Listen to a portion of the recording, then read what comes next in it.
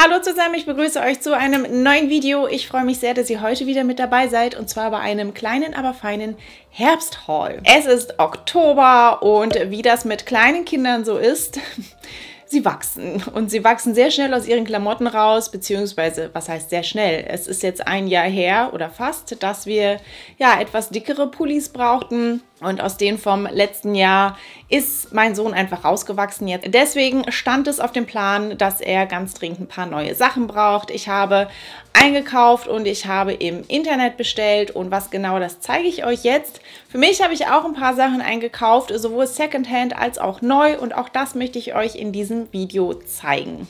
Ich starte mal mit den Sachen für mich und gehe dann zu den Kindersachen über. Vorher möchte ich euch aber noch etwas vorstellen, denn dieses Video hier ist in Zusammenarbeit mit Top Cashback entstanden. Manchmal muss man ja einfach neue Sachen kaufen, beispielsweise für Kinder, wenn sie aus ihren Sachen rausgewachsen sind. Und es ist natürlich eine super Sache, wenn man bei diesen Einkäufen, die man sowieso tätigen muss, ein bisschen Geld sparen kann.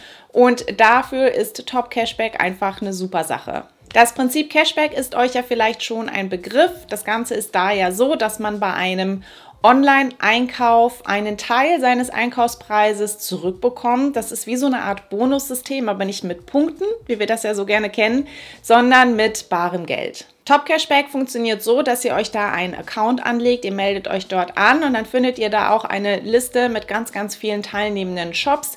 Ihr sucht den Shop raus, bei dem ihr einkaufen möchtet, klickt da drauf und dann werdet ihr weitergeleitet auf den stinknormalen Online-Shop. Und da kauft ihr dann ganz normal ein und Top Cashback registriert dann diesen Einkauf. Im Anschluss bekommt ihr dann einen gewissen Prozentsatz eures Einkaufspreises wieder gutgeschrieben von Top Cashback und das könnt ihr euch dann auf euer Konto wieder auszahlen lassen. Häufig sind es so um die 10% des Einkaufspreises, was man zurückbekommt. Also das könnt ihr alles dann auf der Top Cashback Seite sehen. Mal sind es 5%, mal sind es 8, 10 oder auch 15%, habe ich alles schon gesehen. Wenn da äh, steht, ihr bekommt 10% eures Einkaufspreises zurück, bekommt ihr auch wirklich diese 10% zurück und es es wird nicht irgendwie hinterher noch im stillen Kämmerchen irgendeine Verwaltungsgebühr oder so abgezogen. Das ist nicht so. Wenn da 10% steht, bekommt ihr auch wirklich 10% eures Einkaufspreises wieder, beziehungsweise wird euch gut geschrieben und dann könnt ihr euch das irgendwann auszahlen lassen. Insgesamt findet ihr bei Top Cashback bis zu 1500 Online-Shops. Es gibt Momox Fashion, von da werdet ihr gleich auch ein paar Teile sehen. Es gibt auch nicht nur Kleidung, sondern es gibt auch Rewe, es gibt Lidl, werdet ihr auch ein paar Teile sehen. Es gibt äh, Mac Cosmetics. Es gibt tats tatsächlich auch äh, Reisen, also Hotelportale wie HRS. Äh, es gibt Hess Natur, also auch Kinderartikel, My Toys. Also wenn ihr da sowieso bestellen wollt, könnt ihr das über Top Cashback machen und ihr bekommt einen Teil eures Geldes, was ihr ausgegeben habt, zurück. Wenn das Ganze für euch interessant klingt, wenn auch ihr ein bisschen Geld sparen wollt bei eurem Einkauf für den Herbst oder Winter beispielsweise, dann findet ihr einen Link in der Infobox und wenn ihr euch über diesen Link anmeldet, bekommt ihr direkt 10 Euro Cashback bei eurem ersten Einkauf gutgeschrieben. Klingt ziemlich cool, wie ich finde. Und jetzt legen wir aber los. Ich habe schon gesagt, Momox Fashion. Ich gucke da nämlich ganz gerne mal nach Schuhen. Ähm, Schuhe gebraucht ist ja manchmal so ein schwieriges Thema, auch gerade bei Kindern. Aber bei einem Paar konnte ich nicht vorbeigehen, denn sie sind auch komplett neu. Und es sind jetzt keine typischen Herbst-Winterschuhe, aber ich fand sie so schön, dass ich sie gekauft habe für meinen Sohn. Und zwar sind das kleine Vans. Und ich meine, wie schön sind die? Sie passen witzigerweise zu meinem Lippenstift. Kleine dunkelrote Vans, das ist Größe. Er hat sehr, sehr große Füße für seine drei Jahre. Ähm, äh, 29, genau 29. Und wie gesagt, die sind äh, komplett neu. Momox Fashion, äh, da kann man ja eigentlich gebrauchte Sachen kaufen. Ich habe da auch schon verkauft. Ich habe auch schon einiges gekauft über Momox Fashion. Und da ist es so, dass die Sachen, die man kauft, nochmal ähm, ja, richtig gut aufbereitet werden. Schuhe beispielsweise werden auch nochmal richtig gut gereinigt und so. War jetzt bei diesen hier nicht nötig, weil die wirklich neu sind. Also man sieht das, die sind ungetragen. Man sieht das auch an der Sohle, dass da nicht nur was sauber gemacht wurde, sondern dass da wirklich überhaupt gar kein Abrieb ist. Und ähm, ja, ich fand die total schön, habe die gekauft. Ich glaube, die haben 20 Euro gekostet. Für mich habe ich bei Momox Fashion auch Schuhe gekauft. Sind jetzt auch keine klassischen äh, Herbst-Winterschuhe. Ähm, aber ich brauchte halt ganz, ganz dringend neue weiße Turnschuhe. Und als ich die da gesehen habe, das sind welche von ähm, Fila, meine ich. Äh, halt so ein stinknormaler weißer Halbschuh mit so ein paar Farbakzenten.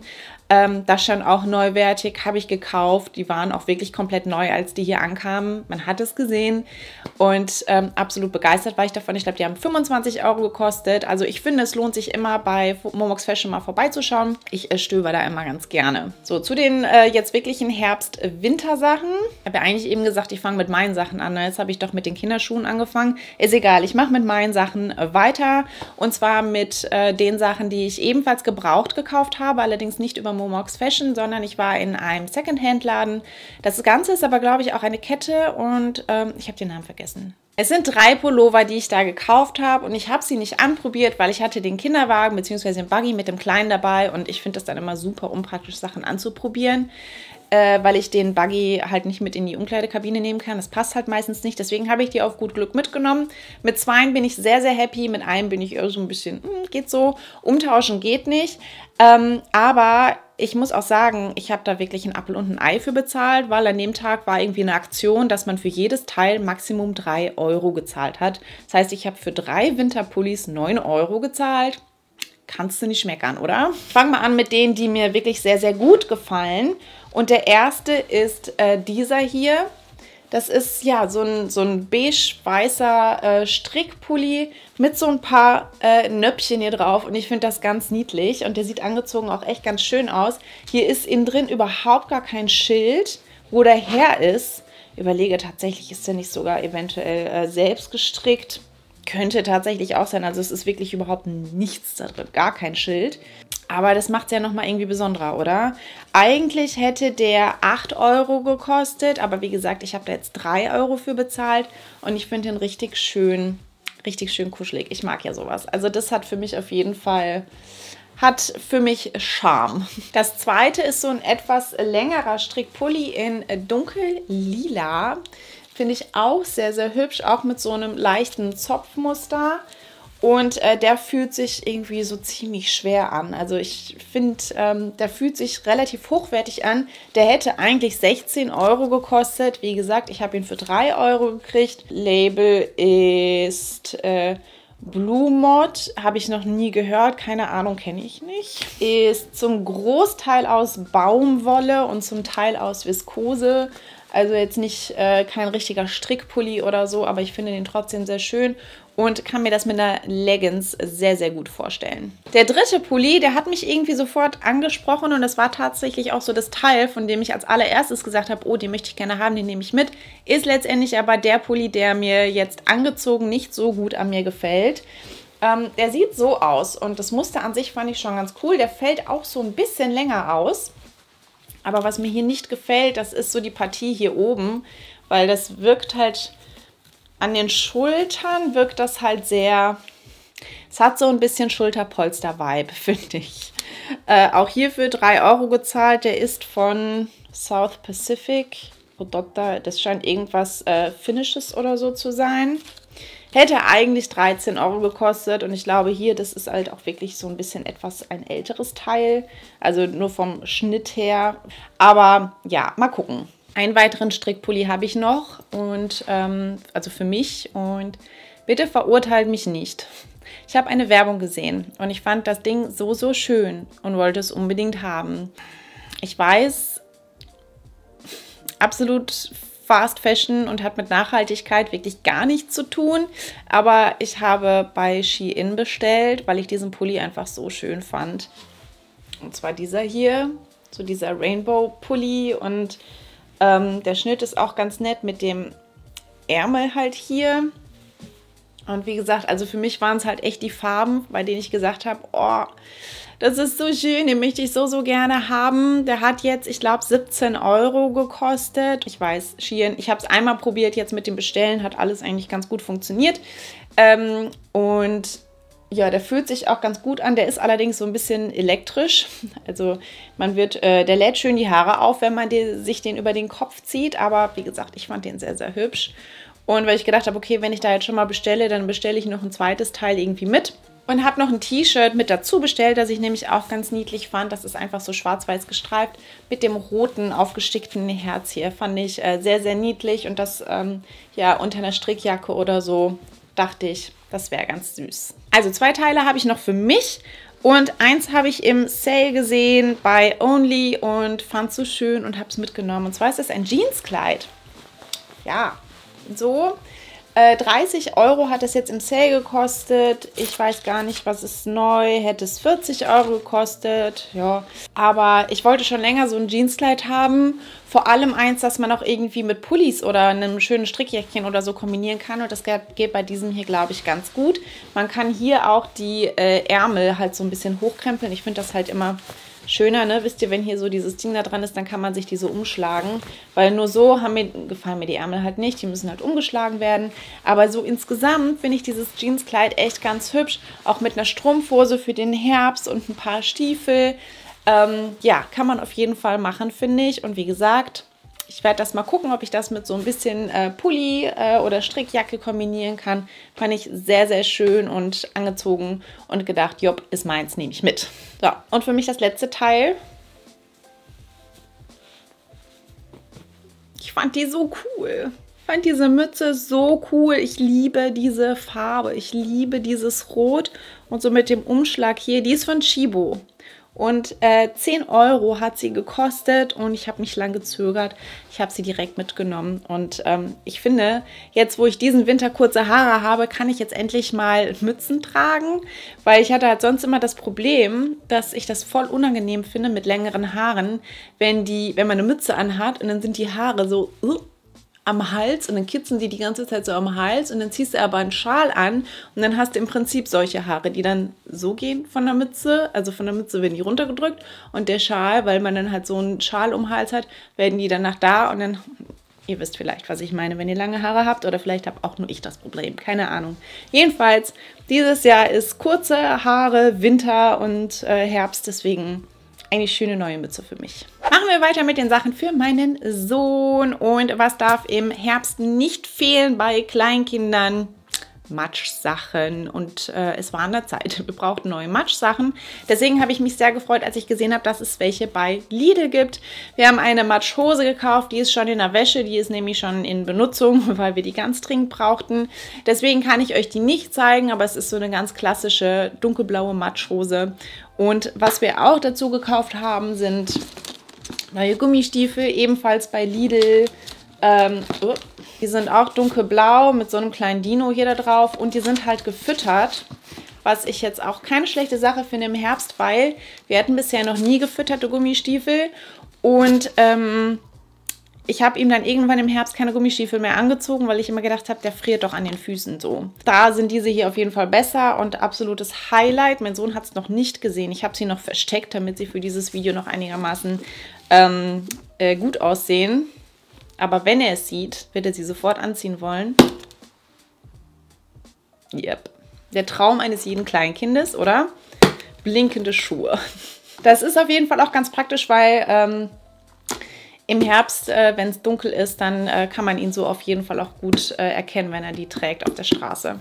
Haben 10 Euro gekostet. Und passend zur Matschhose haben wir jetzt auch noch eine neue ähm, ja, Regenjacke bzw. Buddeljacke gekauft. Auch so, was ich auch nicht gesagt habe, die Matschhose, die ist innen mit so ein bisschen Vlies gefüttert. Und äh, das ist bei der Jacke auch so. Ähm, die ist halt auch, äh, ja, einfach dunkelblau, auch mit so ein bisschen diesem Dino-Muster drauf. Ähm, ich finde es ja immer so schade, wenn es für Jungs halt echt immer nur die dunkelblaue Alternative gibt und für Mädchen dann die pinke Variante. So ein bisschen, ein bisschen was anderes, farbenfroheres für Jungs würde ich mir halt schon irgendwie wünschen oder generell. Ich hätte mal halt super gern so was richtig klassisches Gelbes, so wie so einen gelben Friesennerz oder so gekauft. Gab es auch bei Aldi vor einiger Zeit, habe ich aber nicht in der richtigen Größe gekriegt, leider. Deswegen, ja, ist es dann doch wieder schnödes Dunkelblau geworden dieses Jahr. Ja, Pullis, habe ich schon gesagt, äh, sind ähm, alle zu klein bei uns. Das heißt, musste halt ganz, ganz dringend was Neues her. Und ich habe bei H&M geguckt und ich mag da ganz gerne die aus dieser Basics Organic äh, Reihe Organic Cotton 3 für 2. Also, ne, da kann man ja, wenn man drei Teile aus dieser Reihe kauft, zahlt man nur zwei. Also das dritte bekommt man umsonst dazu. Das finde ich ist eine super coole Sache und ist auch immer ganz schön, um so ein paar Basics zu kaufen. Äh, deswegen habe ich da geshoppt und ähm, habe einmal diese dunkelgrüne Sweatjacke für ihn mitgenommen. Diese Farbe steht ihm so unfassbar gut. Also das so, so Erdtöne und so dunkelrot und so rostrot, das steht ihm unfassbar gut. Ich liebe das. Deswegen war halt für mich klar, okay, diese Jacke wird's. Ich habe jetzt alles in 110, 116 gekauft, was halt eigentlich für drei Jahre echt groß ist. Aber wie gesagt, er braucht es leider so groß. Diese hier ganz schlichte Sweatjacke, so zum Überziehen. Dann ein Kapuzenpulli in diesem ähm, braun Matschton. Fand ich auch ganz cool mit der Tasche hier vorne. Äh, also es ist wirklich eine richtige Tasche hier zum Aufklappen. Da kann er dann so ein bisschen Spielzeug drin sammeln oder so. Ich glaube, da wird er Spaß mit haben, dass er sich da irgendwelche Sachen reintun kann. Wie gesagt, ganz normaler Kapuzenpulli. Ähm, ich glaube hier, da kostet pro Teil 15 Euro. Und wie gesagt, man zahlt aber nur zwei. Genau, und das dritte, dann halt doch nochmal blau, auch ein Kapuzenpulli. Äh, ganz klassischer Kapuzenpulli mit äh, dieser typischen Eingrifftasche hier in blau, hellblau mit noch einem kleinen weißen Dingen hier. Ähm, ja, fand ich auch ganz cool. Also Hosen für den Kleinen gehen bei uns tatsächlich noch. Also da passen ihm tatsächlich auch noch äh, so ein paar Korthosen, die er letzten Herbst oder die wir letzten Herbst äh, gekauft haben weil äh, er ist halt ziemlich schmal, aber halt groß und lang und vor allem halt der Oberkörper lang. Deswegen Hosen gehen eigentlich immer relativ lang. Ähm, ich habe ihm jetzt aber noch mal zwei mitgenommen. Er hat äh, mehrere Jeans. Eigentlich theoretisch hätte er keine neue Hose gebraucht. Aber ich wollte gerne etwas haben, was so ein bisschen wie so eine Jogger ist, aber ähm, auch nicht nach einer Jogginghose aussieht etwas, wo er sich gut drin bewegen kann, was nicht so steif und fest ist. Und ja, es gibt halt wirklich solche Jogger bei H&M. Deswegen habe ich zwei Stück davon mitgenommen. Einmal in Grau mit Gummizug oben und ähm, kann man hier mit den Bändern ein bisschen fester stellen. Und unten hat hier auch nochmal hier so ein Gummi drin. Ähm, Finde ich ganz schön. Das ist jetzt Größe 110 und da könnte ich mir vorstellen, dass das eventuell noch ein bisschen groß ist. Also, dass ich hier ordentlich noch ähm, zusammenziehen muss, weil wie gesagt, der ist sehr schmal. Und die zweite, die ich gekauft habe, ist dunkelblau, ist genau der gleiche Schnitt. Gummizug oben, Bändel vorne und ähm, unten halt auch nochmal ein Gummi. Und wie gesagt, die sind halt so richtig schön leicht und sehen aber trotzdem, ja, man sieht trotzdem darin wie angezogen aus. Die finde ich echt äh, sehr, sehr schick. Was der Kleine ebenfalls ganz, ganz dringend neu braucht, sind Schlafanzüge. Und bei Schlafanzügen tue ich mich immer so ein bisschen schwer, weil ich finde, die sind einfach neu echt teuer. Und auch bei H&M oder so sind die einfach sau teuer. Deswegen, ich stand vor den Schlafanzügen bei H&M und habe gedacht, boah, nee, irgendwie sehe ich das gerade nicht ein. Ich gucke nochmal Gebrauch bei Kleinanzeigen oder bei Momox Fashion oder so. Da habe ich bisher noch nichts gefunden. Da muss man einfach so ein bisschen Glück haben. Dann habe ich aber bei H&M doch einen Schlafanzug gesehen und habe mich verliebt und habe gedacht, okay, den einen, den kaufst du neu, den Rest kaufst du gebraucht. Und zwar ist das ein Harry Potter Schlafanzug. Ich fand den so schön mit dem Hogwarts Express drauf und der ist auch schon getragen, weil er den gesehen hat. Ich, mein Sohn hat ist drei, der hat keine Ahnung, wer Harry Potter ist. Aber ähm, er hat ihn gesehen wegen dem Zug, wollte ihn dann natürlich auch sofort anziehen. Das ist das Oberteil. Ich finde auch schon diese, diese Farbkombi total schön. Und das ist die Hose. Der hat jetzt neu tatsächlich, ich glaube, 15 Euro gekostet, was für so einen Kinderschlafanzug, wie ich finde, einfach sau viel Kohle ist. Aber dieser eine war es mir das jetzt wert. Und das letzte Teil ist von Sarah. Da bin ich nämlich auch einmal kurz reingehuscht, habe aber bei den normalen Klamotten nichts gefunden. Dafür würde ich, wurde ich bei den Mützen für ihn fündig. Ähm, ja, ich habe schon gesagt, Rostrot steht ihm einfach unfassbar gut und es gab ganz viele, oder beziehungsweise diese Mütze in ganz, ganz vielen verschiedenen Farben und ähm, ja, habe mich letztendlich für Rostrot entschieden. Ich finde die nämlich total schön. Äh, steht ihm auch super, super gut. Mützen anziehen ist bei uns immer so ein Thema, wie das, glaube ich, auch bei vielen Eltern der Fall ist. Aber äh, wenn er dann immer merkt, okay, es ist wirklich kalt am Kopf, dann zieht er dann irgendwann auch eine Mütze an. Und ähm, ja, für dieses Jahr habe ich jetzt diese hier gekauft und äh, freue mich da sehr drüber, wenn ich sie ihm anziehen kann. Das war ein ordentlicher, ordentlicher Klamottenhaul hier. Ich hoffe, das Video hat euch gefallen. Gerne einen Daumen nach oben da lassen, wenn dem so ist und wenn ihr mich unterstützen möchtet. Und dann freue ich mich, wenn wir uns nächste Woche wiedersehen. Bis dann. Tschüss.